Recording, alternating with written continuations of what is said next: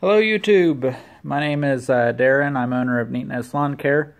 Uh, as I was getting uh, my salt spread ready for this upcoming uh, season here in Indiana, uh, my uh, Meyer, got all flipped upside down here, my Meyer salt spreader has a, this is the motor, um, spreader motor, 12 volt, part number 36402. Um, the issue I had was the, um, I apologize, this is our first video. Um, the motor had kind of corroded, and um, I couldn't find a video on how to repair this thing. So uh, I wanted to make a video to kind of help you guys that uh, may have the same issue. Contacted uh, Meyer, uh, submitted a, a, form to try and have them help me um, get some information on this thing, on how to repair it. Um, they were not very much help. So Meyer, I do apologize for um, kind of giving you that uh, rotten tomato, but um, other than that, this is a it's a good salt spreader. I do like it.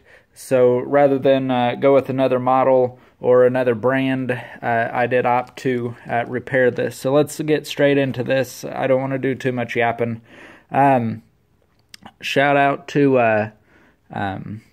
So anyway, this is uh, a half inch wrench. I don't know if you can see that half inch wrench. Um, and uh, if if you can get these bolts off, um, there's a nut up under here. Uh, it's not gonna show, so let me get my light here. There is a uh, there is a you can't see it because I ended up having to cut it, but uh, right here um, right there is another hole. That is where that's where the bolts go through. So the tools you'll need are a half inch wrench to start off with. Um, a half inch wrench. You will need a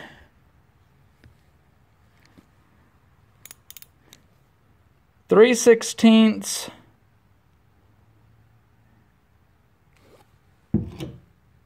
uh, hex hex bit. Uh, shout out to Harbor Freight. Uh, this is a Pittsburgh. Um, on a side note here, uh, I had to buy one of these, and uh, the first time I went, there's a set screw here. First time I went to get that set screw out, it snapped right off. Um, but uh, Harbor Freight uh, had a, a, really good warranty. I took it back to the store, uh, showed them what happened. They gave me a whole new set. So uh, Harbor Freight, Pittsburgh uh, Tools, uh, you do rock on that, um, and I do greatly appreciate it. So once, so guys, I do apologize. This is the first video I've done, but um, I just felt so strongly in making this video that, because uh, there was nothing online, I found nothing online about this. Um, so if you do have a similar salt spreader, this is uh, what you're going to need. Uh, ended up, um, I couldn't get any of those out. I had to end up taking the grinder, had to grind those, uh, those out. Uh, once I got that out, it just popped right off. So once, once you get them bolts out, you'll want to get your I ended up buying an extension because it's you you just can't reach in there real well. So um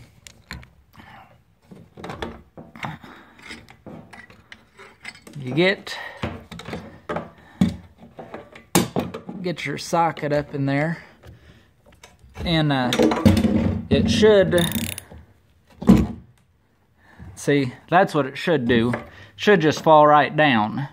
Now, there is a um, a key that is I don't know if you can see that notch on the motor. I'll pull the motor out. You can see. So it does not come out this easy. What what I ended up having to do, folks, is there there's a um, there's a a cotter key that that is on that is on that uh, that's that's on that motor. And what I ended up having to do was you had to heat this up. Had to heat that up just like this.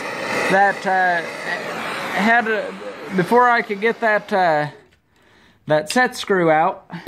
I uh, had to spray it with some. Uh, um, well, I used Liquid Wrench WD-40, any uh, lubricant I could find, any break-free I could get a hold of. I just saturated that with it, let it sit for 24 hours, came back, heated it with the torch, and uh, after um, working with a little bit, that set screw did come right out. Now, once, like I said, this this just fell out because I've already had this apart, but um, I had to come in with a uh, with a crowbar. Had to take the crowbar. Now, if you're replacing this motor, don't be scared to put a little bit of work onto it. But I ended up there's a little bit of play.